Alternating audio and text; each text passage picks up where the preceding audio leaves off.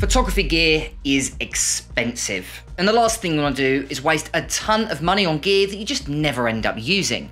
So, in today's video, I'm going to be talking about my favourite photography gear that I use at almost every single wedding and gear that's found its way into my wedding photography camera bag. And I'm going to start right now.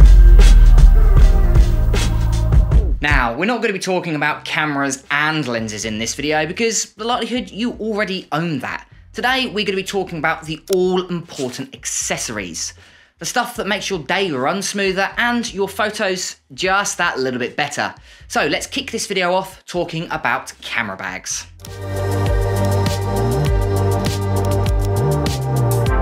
Now, if you followed my channel for any length of time, you'll know that I love my Pelican case. I currently own the Peli 1535 Air. And it basically fits all of my important camera gear in there, from my cameras to lenses to SD cards. Basically anything really, really important goes in my Pelican case. The problem is, it can't fit everything. It can't fit a tripod, can't fit light stands, can't fit my flash guns, or any of my fractal filters. So where do I put that? Well, previously I put it in this kind of long light stand bag and it was all right, but it was getting a bit worse for wear and it still didn't fit absolutely everything. So I ended up bringing a third bag and then things just start getting a bit unwieldy. I've only got two arms and I can't carry three bags at the same time. It started to get a little bit annoying. So I needed a solution, which is why I've gone ahead and been able to get hold of this. This is the Manfrotto Pro Light Cineloader. I just want to say thank you for Manfrotto for sending me this for this review. Now I love this bag for so many reasons. It really fits into my workflow really well. Firstly, it's a really big bag, so you can fit a ton of accessories in there. I can easily fit light stands on the top. It's got this kind of top strap as well as a tripod. Inside I can fit my flash guns. I can fit a bunch of cables in there. I can fit basically everything I need for a wedding in this one bag apart from obviously cameras and lenses, which obviously fit in my Pelican case. But the big reason I really like this bag is how well it fits into my workflow. Reason is, it's got this little strap at the back, which means it can fit over my Pelican case or fit on top of my Pelican case really easily. As well, it's, a really tough bag. You've also got a padlock on the side, so if you do want to lock it and slide it under a table, you pretty much can do. Now, this bag here is on the expensive side, but is, I personally think it is definitely worth it, and I absolutely love it. It does come in three sizes, small, medium, and large. You know me, I've gone for the large one just because I need that room. I just bring unnecessary amounts of camera equipment, and I'm gonna need someone to put it, so this bag is absolutely perfect.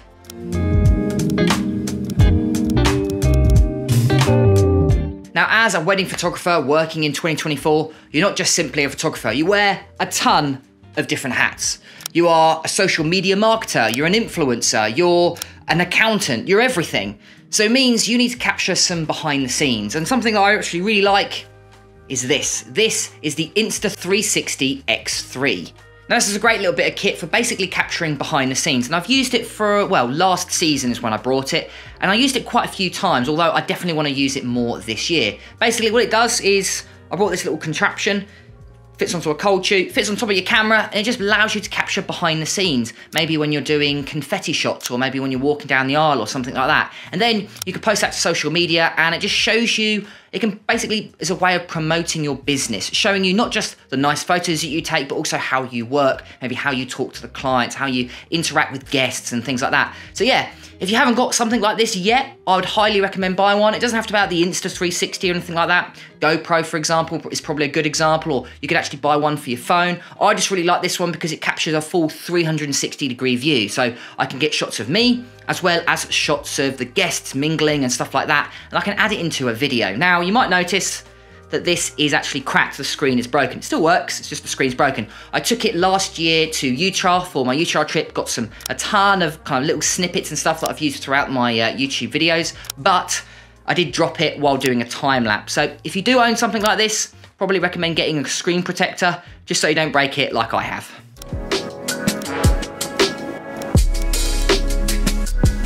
Now filters are a great way to add a little bit more creativity to your photo shoot and they work really well for weddings.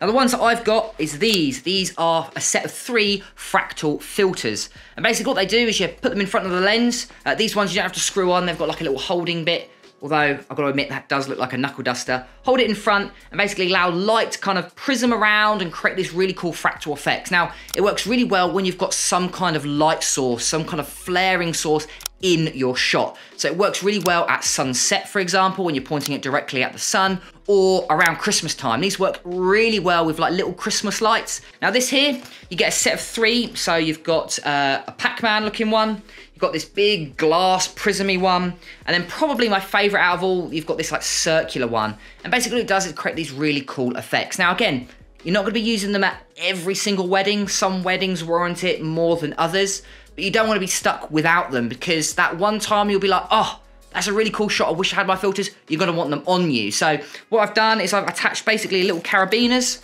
so I can attach it to me, maybe on my belt or on my on my harness. So I've always got them with me. Plus, they're a little bit of a talking piece. People come up to you and go, oh, what's that? And then you can explain to them, oh, they're this. I, I'm a really creative photographer. I do this, that, and the other. So yeah, filters in general are a really cool way to add just a little bit more creativity. They don't have to be fractal filters. Maybe they could be a mist filter or a circular polarized filter or a colored filter.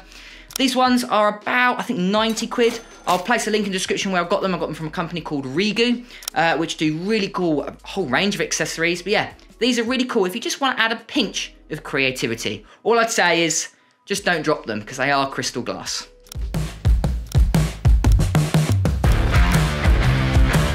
Now, buying the right camera harness as a wedding photographer is really important. Forget about what camera, what lens, what SD cards you're gonna have to carry all that stuff all day. So getting one that's comfortable, that works for super long hours, especially one that's a dual camera harness, that, in my opinion, is really important, which is why I've gone ahead and brought myself this, and this the Holdfast Moneymaker. Thanks, Drew, for letting me know about this brand really really good well made camera harness. Now this one's got the dual camera harness so you can place a, a, camera on both which for me is really important. I usually shoot on prime lenses although i'm starting to kind of migrate into the zoom lenses i must admit. But yeah really comfortable but the big benefit is this one looks good. It's got this really nice leather. You don't have to buy leather. I think they do um, non-leather versions.